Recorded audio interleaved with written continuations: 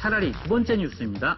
다음 달 16일 이후 생산되는 승합차는 속도를 시속 110km 이상 낼 수 없다는 거 알고 계셨나요? 그럼요. 자동차 담당 기자인데요.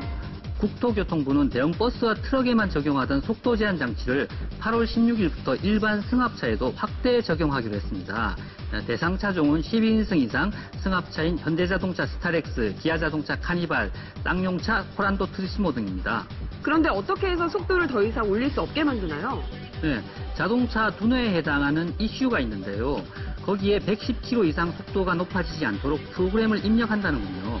아, 가속 페달을 아무리 밟아도 더 이상 속도가 안 올라가는 거죠. 정말인가요? 그럼 사고의 위험성을 줄일 수 있도록 승용차에까지 적용됐으면 좋겠네요. 승합차 속도 제한 장치 의무화. 좋은 정책인데요. 꼼수를 써서 위반하는 것은 어떻게 막을지 그게 또 문제네요. 그래서 국토부는 자동차 검사 때 속도 제한 장치 작동 여부를 확인하는 방안을 검토 중이고요. 또 해제 사실이 적발되면 100만 원의 과태료를 부과한다고 밝혔습니다. 또 과속을 하다가 번호판이 찍히면 속도 제한 장치를 해제한 사실이 입증된 셈이니까 과속 과태료 외에 자동으로 100만 원이 더 부과된다고 합니다. 차라리 벌금을 내겠다 이런 분들은 안 계시겠죠? 과속은 금물입니다.